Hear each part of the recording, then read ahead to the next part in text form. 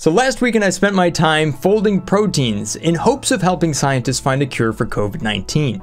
Now let me just say that I never thought I would be doing anything like this. But thanks to an amazing research project developed by the University of Washington Center for Game Science and in collaboration with the UW's Department of Biochemistry, an absolutely incredible game named Foldit was developed.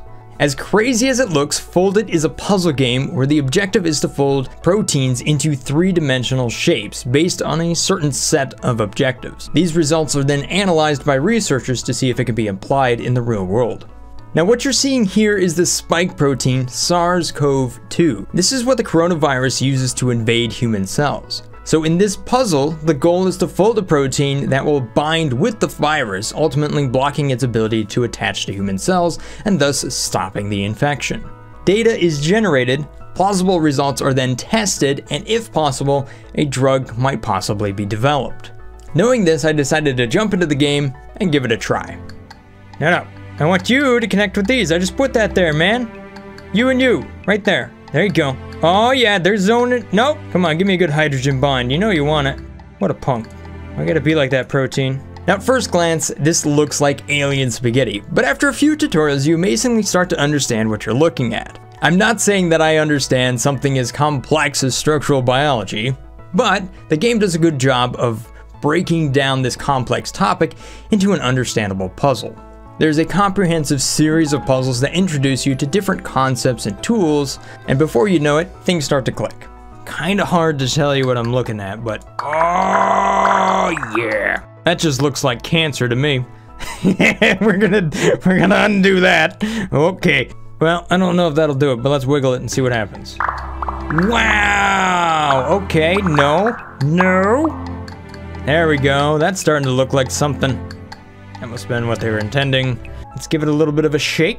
Oh yeah! Look at those numbers go up. Mm-hmm. Boss defeated. I personally feel like this game is best explored with an open browser alongside. As you come across new words, take a moment to research them. It was not long before I was introduced to some truly amazing science that I've really never seen before. The really cool thing about this is that I could see it and I could play with it on screen. Looking up things I never thought I would look up here. Okay, hydrophobic normally buried inside the protein core. A whole bunch of words I've never read before. Here we go. Alanine. What? Oh, here we go. An electron density plot.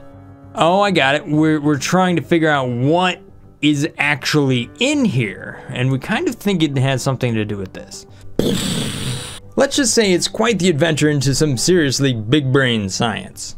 If you're thinking at this point that you clearly don't know what you're doing and therefore have nothing to contribute, you might actually be surprised to find out that human generated solutions by citizen scientists, like myself, have provided useful results that matched or outperformed arithmetically computed solutions. So hats off to humans, even if we don't know what we're doing. Haha! But the game holds your hand quite a bit, so just in case you're wondering.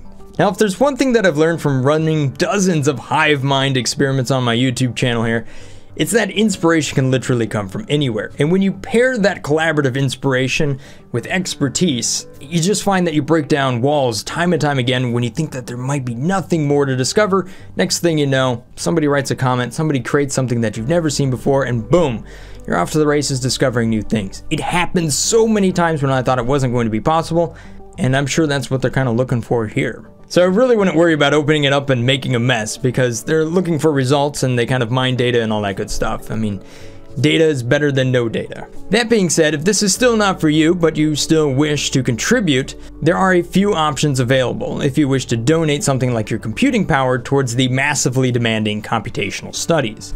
Check out the links in the comment section below if that's something that you're interested in. Now as for me and playing through the campaign, it took me about 3 hours to get through all of the tutorials and then about an hour for each puzzle that I then did after that. In total I submitted 3 different possible things for the COVID-19 puzzle, so hopefully one of those is actually useful to somebody right there. Alright, so here's my solution. I was able to get it to about 12,791 points, but the thing that I was most interested on here is the amount of times that I was able to create more connections over here. That way it sticks to this thing. So I was able to add about five or so hydrogen bonds over there. So in addition to what we got going on here, maybe this thing would stick better than enough to inhibit its ability to, you know, spread and connect to the human cell instead. Maybe, just maybe, somewhere out there somebody out there might find this useful. So I'm going to save the solution. This is going to be called B12 and open and share solutions and upload for scientists. There you go, bud. All right, so there we have it. An interesting weekend. Ultimately, I feel like it was really rewarding to kind of go through this effort and to try it out because what really excites me is that I actually, on some level, get to contribute to helping the researchers fight this pandemic and possibly be a part of ridding the world of COVID 19 which I gotta admit is, is pretty cool. What did you do last weekend? Watch Netflix? Slacker. no, I'm just kidding. The other more humbling thing here is that I know that this will expose curious young minds to this amazing field of science, and it gives them something to play with, which is awesome.